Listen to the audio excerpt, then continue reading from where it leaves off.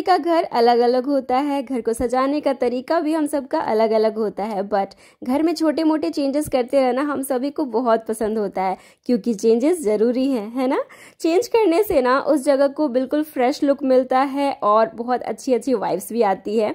तो मैंने भी आज अपने डाइनिंग एरिया का लुक बिल्कुल चेंज कर दिया है, जो ट्रांजिशन हुआ है ना मुझे बहुत ज़्यादा पसंद आया। आई होप आप लोगों को भी बहुत पसंद आएगा। So hey friend I am Rupa welcome to my channel I hope आप लोग बहुत अच्छे होंगे। सो चलो आज के इस इंटरेस्टिंग से वीडियो को स्टार्ट करते हैं।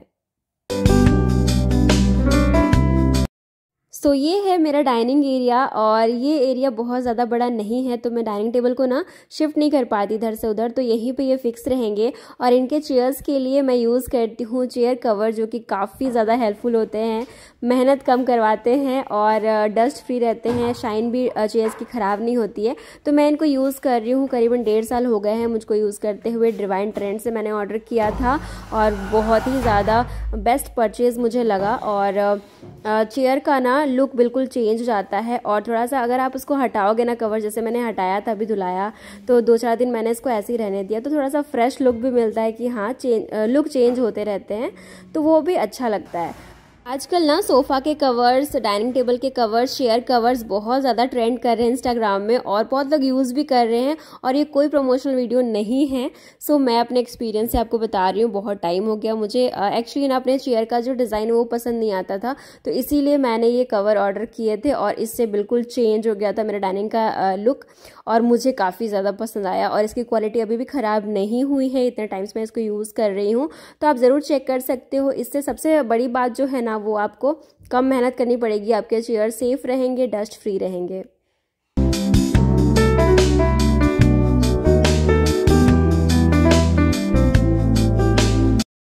क्लीनिंग के लिए ना मैं हमेशा पुराने हैंकीज़ का यूज़ करती हूँ, क्योंकि वो छोटे से होते हैं सॉफ्ट से होते हैं तो बड़ा अच्छा लगता है ग्लास वगैरह को साफ़ करना।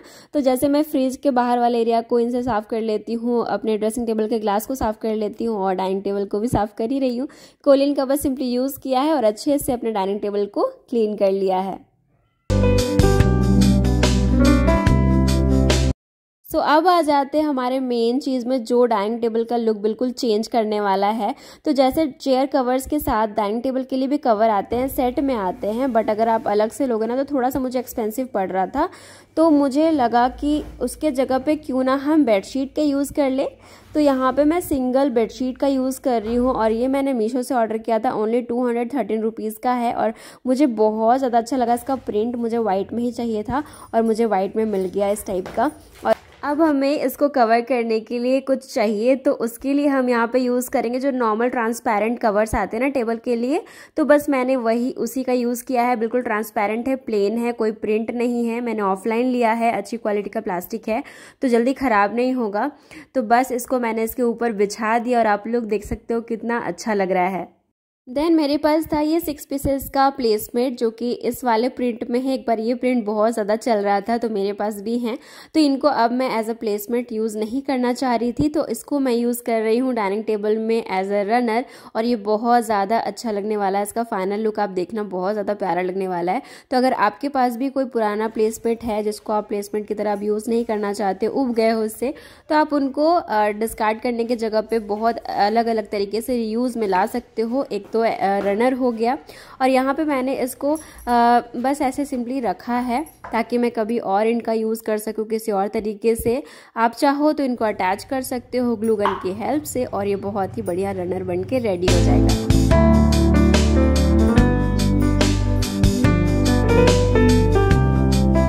टाइप के जो बाँस के होते हैं ना फ्रूट बास्केट वो भी बहुत ज़्यादा अच्छे लगते हैं देखने में। तो ये मैंने परचेज़ किया था जब हम दिखा गए थे ना वहाँ से मैंने परचेज़ किया था ओनली फिफ्टी रुपीज़ में। और ये बहुत ज़्यादा तो स्ट्रांग नहीं होते हैं लेकिन आप नॉर्मल फ्रूट्स रख सकते हो और बहुत अच्छा लगता है देखने में। सो so, चलो अब देखते हैं हम डाइनिंग टेबल का फाइनल लुक कैसा लगा आप लोगों को कमेंट में ज़रूर बताइएगा।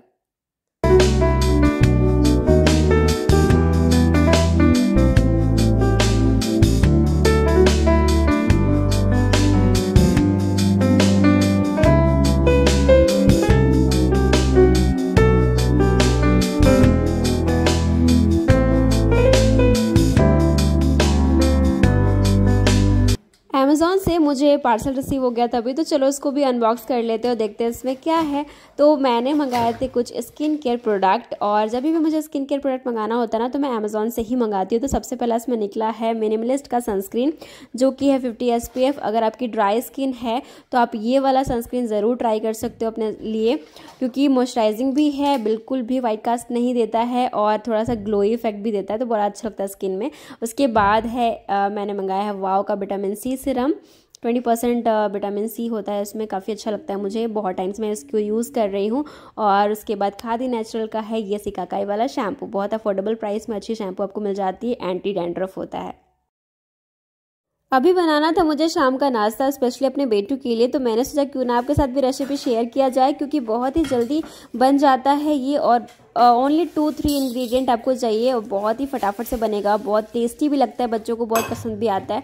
तो चलो बनाते हैं। तो सबसे पहले पोहा लिया है मैंने, उसको अच्छे से धो लिया है, और थोड़ा सा पानी में मैंने उसको छोड़ दिया है फुला करके, क्योंकि थोड़ा सा छोटा दाना वाला पोहा था मेरे पास तो थोड़ा सॉफ्ट हो जाएगा, इसीलिए मैंने उसको पानी में ही छोड़ दिया है। देन हम यहाँ पे लेंगे सूजी, जितना सूजी आप ले रहे हो ना, उसका हाफ़ हाफ़ पोहा ले सकते हो, या फिर एक मुट्ठी पोहा ले सकते हो। पोहा हम ऐड करते हैं सॉफ्टनेस के लिए, बहुत अच्छा सॉफ्टनेस देता है। है।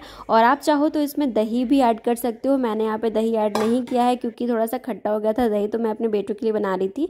तो मेरे पास फ्रेश दही नहीं था और कोई था भी नहीं लाने वाला। तो मैंने सिंपली यही दो इंग्रेडिएंट लिया है आज और बनाया है।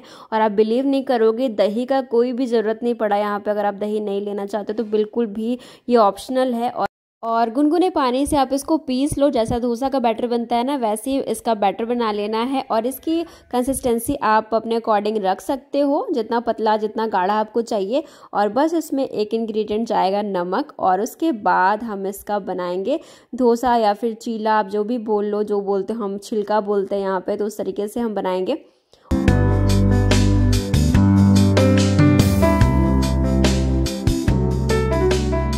देन यहाँ पे कोई सा भी आप नॉन स्टिक पैन ले सकते हो या फिर आयरन का तवा ले सकते हो। जैसे मैं यहाँ पे यूज़ कर रही हूँ, मैं तो यूज़ करती हूँ और अब लोग धीरे धीरे आयरन का तवा यूज़ कर रहे हैं। नॉन स्टिक को धीरे धीरे छोड़ रहे हैं, कम कर रहे हैं यूज़ करना तो यहाँ पे हम इस पतले से बैटर को इस तरीके से घुमाएँगे, जैसे डोसा बनाते हैं ना हम नॉर्मल उसी तरीके से बनाना है। और आप इस पर कुछ चाहो तो ऐड भी कर सकते हो, कोई सब्ज़ियाँ ऐड कर सकते हो बट मैं ऐसे ही बनाती हूँ।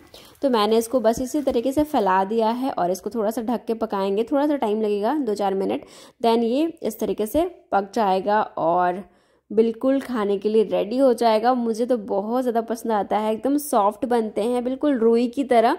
और बच्चों को भी ये बहुत ज़्यादा पसंद आएँगे। तो आप इसको चाय से अगर इन्जॉय करना चाहते हो चाय के साथ भी ले सकते हो सॉस के साथ, हरी चटनी के साथ। तो आप जैसे चाहो वैसे इसको इन्जॉय कर सकते हो। तो friends that's all for today I hope आज की वीडियो आप लोगों को ज़रूर पसंद आई होगी। थोड़ी भी पसंद आई तो प्लीज़ एक लाइक ज़रूर कीजिएगा। मुझे पहली बार देख रहे थे तो सब्सक्राइब ज़रूर कीजिएगा। बिल्कुल फ्री है। बेल आइकन को ज़रूर हिट कीजिएगा ताकि मेरे नेक्स्ट वीडियो की अपडेट आप लोगों को सबसे पहले मिल सके। सो so, फ्रेंड मिलती हूँ एक और इंटरेस्टिंग वीडियो के साथ जल्द ही। तब तक के लिए bye bye take care and thank for watching